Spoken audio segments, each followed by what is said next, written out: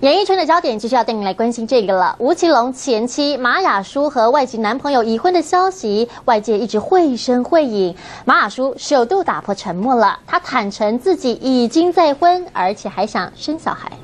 婚的传闻，马雅舒向正在拍戏的马雅舒大方坦诚再婚的消息。听说最近丫丫结婚了，能不能给大家分享一下这个喜讯？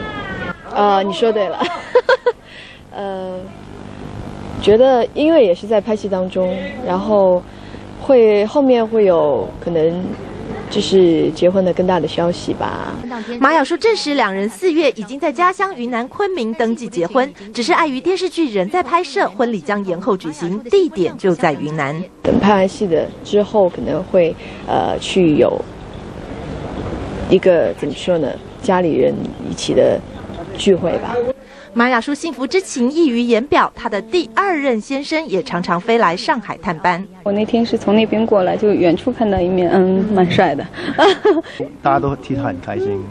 马雅舒的先生是一家游戏开发公司的 CEO，家境优渥，外传身价十亿美金。这位来自澳洲的外籍帅哥让马雅舒计划未来。有没有想过以后自己尽快生个宝宝呢？当然想，当然想，一直都在想。